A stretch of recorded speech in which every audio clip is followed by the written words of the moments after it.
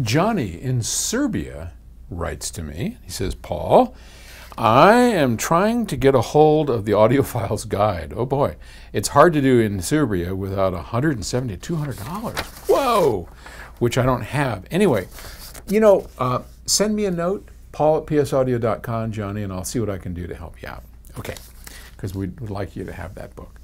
Um, anyway, on with the question. If compressed files like FLAC, which stands for Free Lossless Audio Codec, uh, needs to be uncompressed to be played, thus using more power from the chip that's decoding it and making the power supply work harder, doesn't it make more sense to use uncompressed music like WAVE, uh, since the power supply will generate less noise?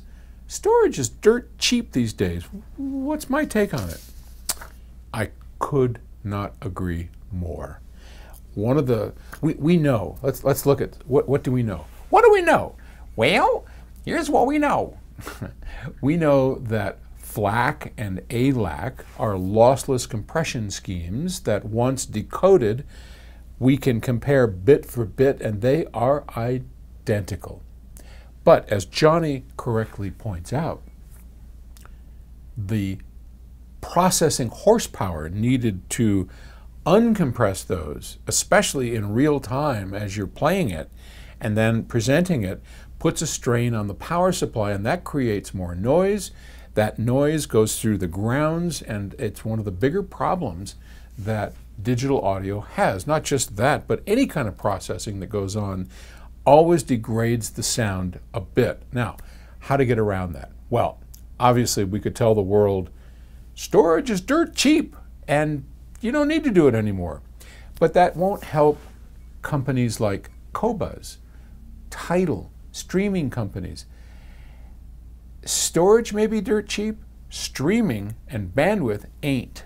So those companies want to have the smallest amount of data going out of their streaming services as possible because the, the more data that goes out, the more they got to pay.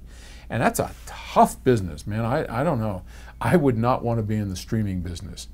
So you have this problem where I think, yes, as an audiophile, as somebody who has storage, local storage of, of audio, do not store in lossless compressed files. If you can, take the time and do, I don't like Wave so much because Wave doesn't have the ability to have metadata.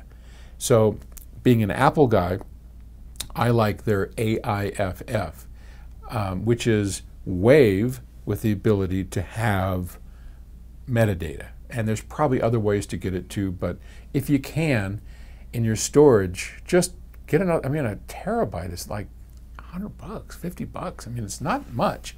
So if you're storing locally, absolutely don't have lossless encoded files because your computer will work harder.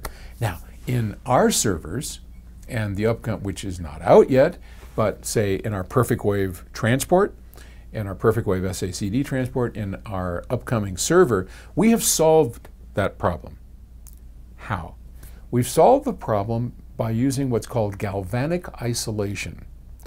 So we talked for a moment about what happens when there's more crunching going on and more horsepower being used in the computer. And inside all these servers is basically an SBC, a single board computer. And it, it could be a Raspberry Pi, it could be you know any number of things, doesn't matter. It, it, they're all sort of doing the same thing. And the harder they work, the worse they sound because of the noise that is generated in the power supply on the grounds. By using galvanic isolation, we eliminate that entirely. How? Because galvanically isolation, uh, isolating means we don't have any connection to the ground. We have no physical connection to anything. Everything is sent by light or by radio waves. In our, in our case, we have a little, little transmitters that send the digital signal over the air. So any noise over here is never carried through here. And our output stage has its own power supply, its own reclocker. Everything is completely isolated. So it doesn't care how much work is going on over here. Could care less. But That's unusual. That's not typically done. So, in general, unless you're going to get one of our products, and even if you do, there's no reason for it, but except streaming, right? That's always going to be there. So, um, yeah, I completely agree with you for those reasons. Okay? All right. Thanks. Talk to you later. Bye.